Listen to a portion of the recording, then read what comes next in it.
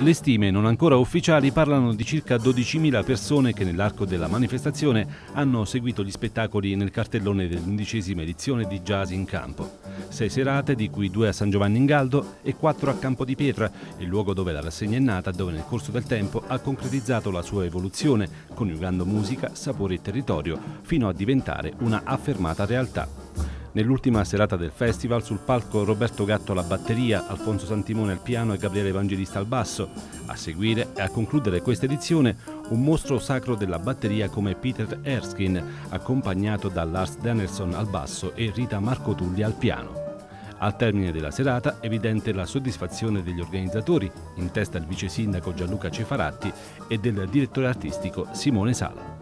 Abbiamo messo su un programma difficile, abbiamo fatto delle nuove aperture rispetto a Jazz in Campo, eh, l'ingresso di San Giovanni in Galdo, nuova direzione artistica,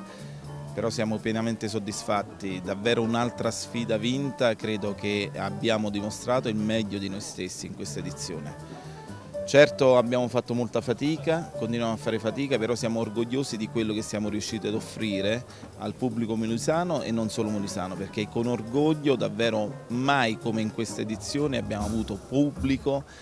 tanto da fuori regione che ha apprezzato la proposta artistica, ha apprezzato i nostri sapori e ha apprezzato il nostro territorio. Quindi credo che abbiamo davvero colpito il segno e mai come questa volta credo che possiamo essere soddisfatti non solo come amministratori di Campo di Viera ma come amministratori molisani e di gente che ci tiene al proprio territorio. C'è ancora l'adrenalina di questa undicesima edizione e anche la soddisfazione di aver fatto un grande festival, veramente eh, non perché lo, faccio parte di questo staff incredibile ma la gente ci è venuta a ringraziare, gente di tutti i tipi, dai bambini ai grandi, alle signore, a, alla gente che veniva da 100 km, a quella che vive qui a fianco al palco. Per noi è stata una grande soddisfazione